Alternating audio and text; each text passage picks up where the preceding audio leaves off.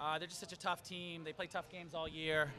Uh, I got to give them so much credit. They just, you know, we made our runs. We made two or three runs at them, and they, we were hoping they'd crack, and they totally didn't. Uh, they shot phenomenally from the outside. We, uh, we were kind of hoping that the big gym they wouldn't shoot that well, but you know, I just give them so much credit because their defense and just stepping up big time, and a whole bunch of players. You know, they really, they play great, and you know that's why we try to be like a team like that. We try to play them tough, and you know I'm proud of our girls, but obviously a little disappointed in the outcome. With their ball movement, is it tough to rotate in the two-three there? 'cause they have so Yeah, you know what? I, I don't think people realize how quick they are. Uh, all of them, from from the guard to the the big kid, they're all very quick and attack the basket very well.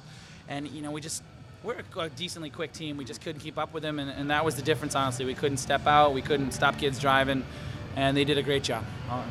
What was it that you guys were doing that enabled you to fight? You guys clawed all the way back too. You had that uh, brief lead there the. Yeah, uh, that hurts. Um, no, it's okay. Uh, I think that you know all season we really have done a, a good job of getting the ball inside, and then it's opened up the outside. And, and we were missing a lot of layups in the beginning.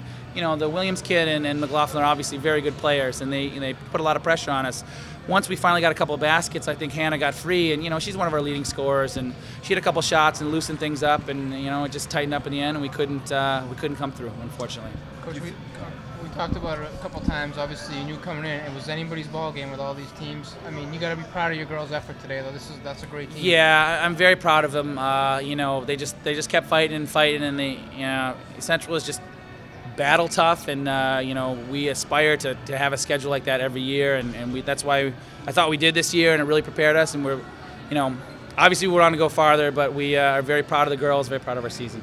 Do you feel like you guys might even be a year away with Hannah and Sam and Samantha coming back next year? Might even, you know, there's, there's even room to grow for them. Um, a little bit. The problem is that we're going to the Central, so uh, unfortunately we don't have this goal here of, of playing right in our backyard. Right. But uh, honestly, I think that the senior class this year, um, they might have been coming off the bench a little bit, but in practice they really push people every day to improve. And I really think that. Uh, you know, it's going to be tough to replace them. I mean, they might not be the headliners like the juniors are, but, you know, you look at a kid like Kibblehouse and a kid like Novak down low, and we got some kids who push people in practice very hard, like Bailey Mongelo and the Swan kid and Ernst, and it's going to be really tough to replace that leadership next year. Uh, I give them a lot of credit for keeping the team together. You have teams like this that there are a lot of people who are close and they, they fight over playing time. This team has never had a trouble like that ever, and I'm very, you know, I'm pleased to, to be a part of it.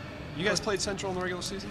No, we No, played them last, last year. We beat them in the regular season. We didn't have McLaughlin, but when she came back, they knocked us off in the playoffs. So it was kind of a rubber match, and they just, yeah, they got us a little bit ahead of us.